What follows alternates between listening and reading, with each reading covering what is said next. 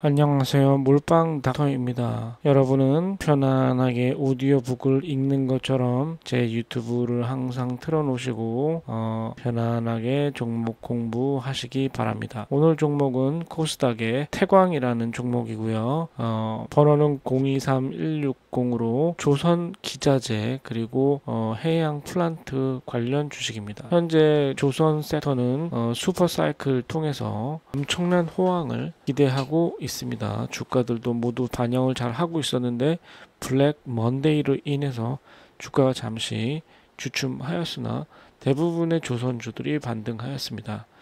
제가 가지고 온 이 태광이라는 종목은 어, 성광밴드와 더불어서 어, 국내 조선 기자재의 이음새, 관이음새 부분에서 어, 독보적인 기술력을 자랑하면서 대기업들과 해외 아람코 또 엑슨모빌 등과 같은 대기업 등의 공급을 하고 있다고 알려지고 있으면서 최근 가장 먼저 주가가 반응했던 것이 5월 30일에 이어서 6월 20일 날 그 이력이 나타나면서 어, 반응 어, 주가가 한번 상방으로 올라온 적이 있습니다. 현재는 지금 어, 긴 조정 기간을 거쳐서 어, 정배열로 다시 변동을 전환을 하고 있는 추세입니다. 어, 앞으로 3분기, 4분기에 이 종목이 어, 기대를 받을 수 있는 내용은 바로 조선업이 조선 섹터가 슈퍼 사이클에 접어들었기 때문이고요.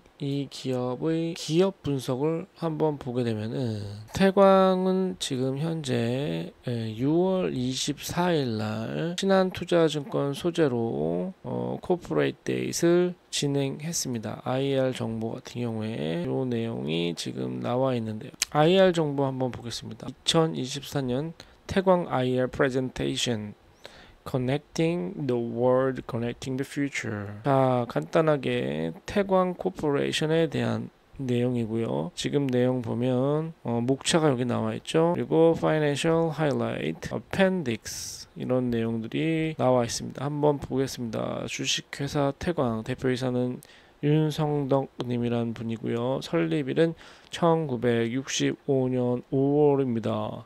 상장은 94년 9월로 20년이 훌쩍 30년이 돼가는 아주 오래된 에, 탄탄한 기업입니다. 현재 최대 주주와 어, 특수 관계인 포함 45%로 주가 경영에는 아주 고무적으로 문제 없이 진행할 수 있고요. 외국인도 무려 12%나 이 주식을 가지고 있습니다. 제품으로는 엘보우, 티, 그다음에 리듀서, 캡 이런 내용들의 제품들이 지금 들어가 있고요. 생산, 설비, 자동화, 공정 단축으로 인해서 제품이 좀 더 빠르게 어, 자동화돼서 나올 수 있고 modernized flexibility highest quality 현대화로 바, 바꿨기 때문에 quality도 더 좋아졌다고 나타나고 있습니다. 현재 business breakdown 지역별 수출 현황을 보시면 21년, 22년, 23년, 24년 first quarter까지